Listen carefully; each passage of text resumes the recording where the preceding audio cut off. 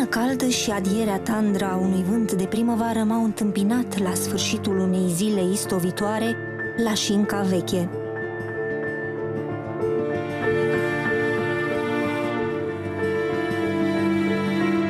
Era locul despre care îmi vorbise cu mult timp în urmă un taximetrist, generos și binevoitor. Doamnă, dacă aveți vreo dorință în viață, să mergeți la Șinca Veche –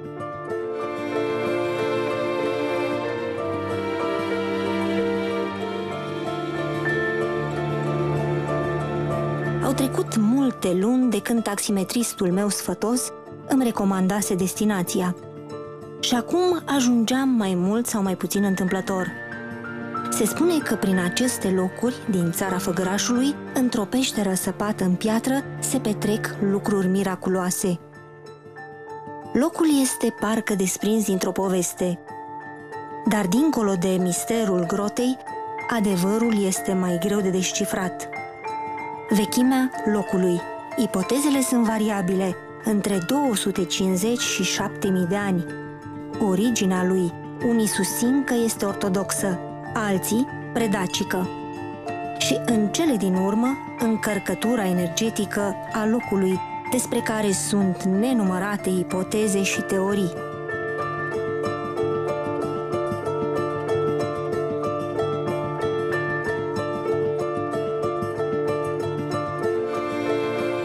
Totuși, de multe ori, biruitoare sunt credințele noastre populare.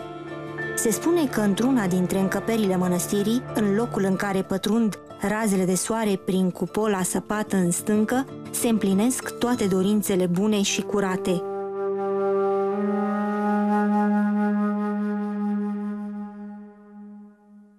Acum un secol, fetele de măritat și flăcăii se urcau pe dealul Pleșu, unde este săpată mănăstirea și aruncau o roată cu paie în flăcări, având credința că își vor afla ursitul.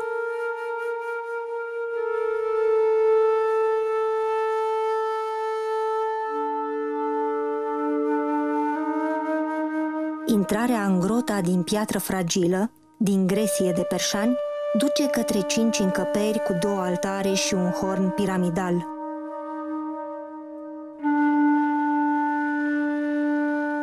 Șinca veche, o poveste cu adevărul ei și adierea gândurilor neistovite de dor, de poveste.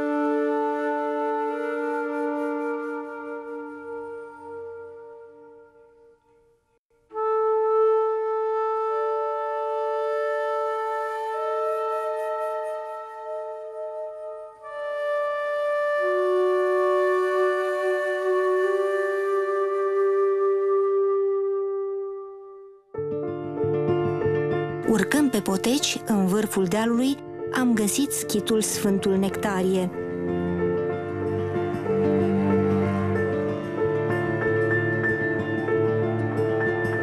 O mână de maici delicate și pline de evlavie caldă îngrijesc acest loc ocrotit, vizibil la fiecare pas, de Sfântul Eghinei.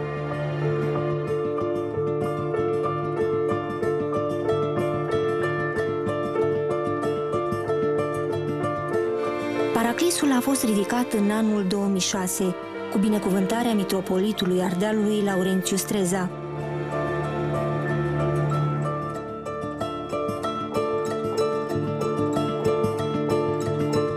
Totul este din lemn curat, iar așezarea lui, într-un loc în care pășteau oile și căprioarele, într-o margine de pădure, sub coama unui deal, cheamă parcă la un popas de suflet.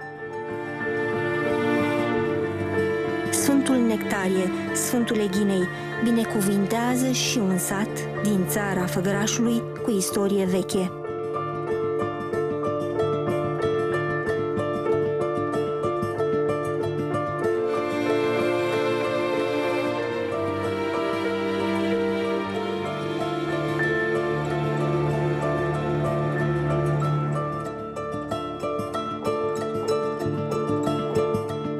Maicile de la Șinca Veche rezistă în fața invaziei barbare a turiștilor la care am asistat și despre care vreau să vorbesc mai puțin.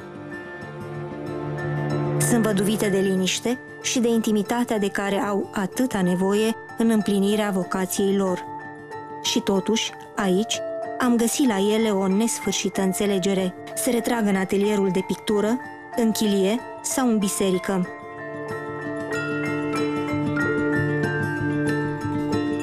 Vorbesc cu sfinții atunci când îi pictează sau când li se roagă.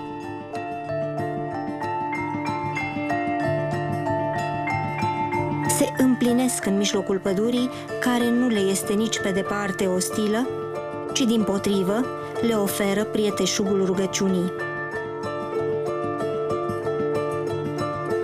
Șinca veche, un loc plin de comori, mai vechi sau mai noi, și dincolo de ele, credința.